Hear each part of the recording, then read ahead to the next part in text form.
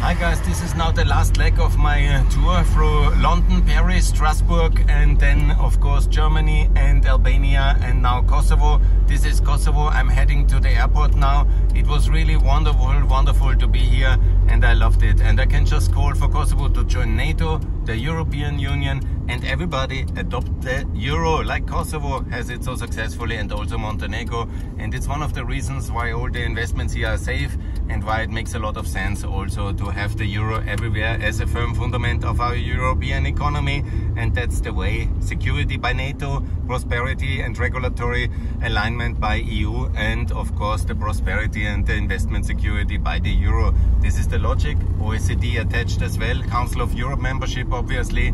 I made that clear in Strasbourg and our enemies must be defeated and divided and we must be more united. This is the logic of my trip. I showed you from London uh, where I called uh, for uh, the um, return of the Brexit, uh, no, not the return of the Brexit, the end of Brexit, the return, uh, the rejoining of the United Kingdom towards France, where I called, of course, for a stronger European France, and I called here then in Albania for EU accession, and here in Kosovo, where you see here this city of Pristina. It's very beautiful. Uh, it's very high-rise building. Over there you see the huge coal reservoirs of Kosovo, and of course uh, this amazing um, power plants which uh, should be replaced by even better power plants but working on European technology and of course a lot of solar potential, wind potential and energy potential here in Kosovo. I'm now on the way to the airport. This is how Kosovo looks here. The highways are really very good. They invested a lot into energy infrastructure, into highway infrastructure. Here's also the railway station over there.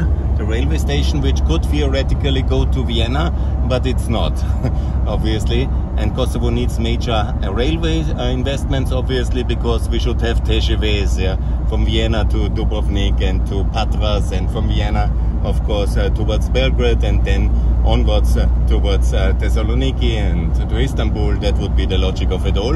And that is what we need to achieve. Yeah. And for that we need energy, we need infrastructure, we need EU, NATO. Here the police is working very well. And you see here a lot of new investments that some of the villages here which are invested, the gated communities.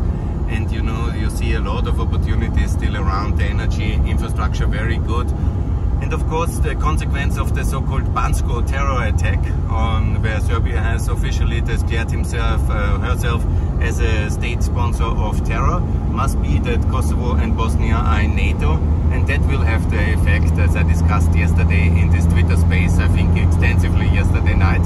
And it was very interesting debate. Thanks for the invitation to Faton yeah it's very beautiful here to come here from this beautiful country the showcase of European nation building, which we should do more of it, and it's very successful. And I just can congratulate everybody who supported me here and who helped me, and I can just promote uh, for Kosovo to join NATO, for Albania, Macedonia, and Montenegro to join the European Union, for Ukraine to win. The victory is so important and for all of us uh, to be more united and to defeat our enemies, to dismantle them and divide them. That is the logic and Serbia and Hungary, they went to China, let's never forget, and we were all united in Tirana.